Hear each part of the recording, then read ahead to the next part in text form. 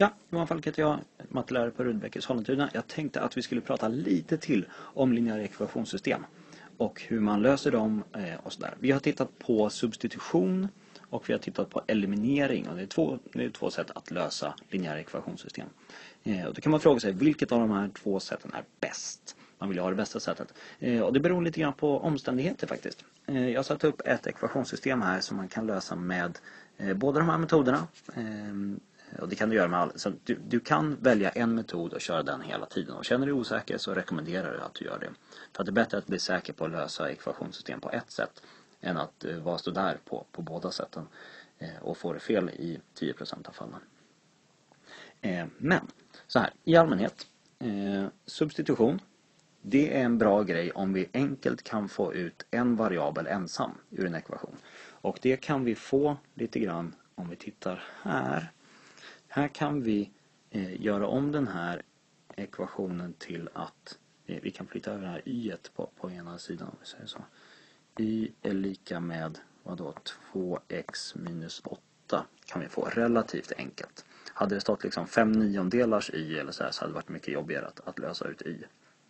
Men här har vi inte ens någon koefficient framför y. Vi har minus 1 gånger y. Eh, så, så, att den är ganska, eh, ganska enkel att bryta ut. Eh, om du kan lösa ut en variabel. Åh oh nej, jag kan inte backa fler eh, steg jag ritat. Det kommer bli kladdigt här.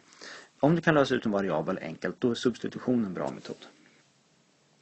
Eh, om du inte kan lösa ut det enkelt, då kan du testa eliminering istället. Eh, och då kan vi kolla in, eh, finns det något lätt sätt att få eh, att, att, att göra koefficienterna framför någon av variablerna eh, samma men med motsatt tecken. I det här fallet så har vi minus y här och plus 3y här. Då skulle vi kunna ta den här övre eh, ekvationen och ta den gånger 3 på höger och vänster sida. Så att vi istället får då 6x minus 3y lika med 24 och 4x plus 3y lika med eh, 2. Eh, då har vi multiplicerat med 3 på höger och vänster sida i, eh, i den övre ekvationen. Det får vi göra, det är ett sätt att hantera ekvationer. Eh, sådär, utan att ändra ekvationens påstående.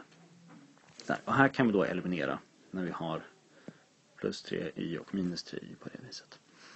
Eh, men jag skulle nog säga i det här läget att det enklaste sättet att lösa den här ekvationen på är att eliminera med avseende på x här. Här har vi 2x och 4x. Eh, och då kan man göra på två olika sätt. Antingen så tar vi den här övre ekvationen och tar den gånger 2. Så har vi 4x och 4x och istället för att lägga ihop de två leden så tar vi det ena ledet minus det andra. En annan variant är att ta gånger minus 2. På det här viset. Om vi tar gånger minus 2 kan vi se vad det blir då. Då får vi minus 4x eh, plus eh, 2y lika med minus ah, 16. Får inte plats. Minus, ah, minus 16. Får det stå här nere. Så. Parentes runt negativa tal, alltid bra. Och så har vi 4x plus 3y är lika med 2. På det här viset. Ehm, så, och då har vi en ganska enkel eliminering att göra här. Ehm, och det var det. Jag tycker att den här sista metoden är lite bättre, eller lite bättre, lite snabbare att göra för vi multiplicerar med 2 och ett minustecken istället för att multiplicera med 3. Ehm, och tycker jag blir en lite lättare beräkning. Liksom. Det är upp till var och en vad man tycker är lättast att göra eller bekvämast att göra. Sådär. Ja, ehm, för att summera. Substitution. Eh, bra när vi kan lösa ut en variabel. Bra om vi kan lösa ut en variabel. Eh, eliminering är bra om vi kan eh, få, få lika koefficienter.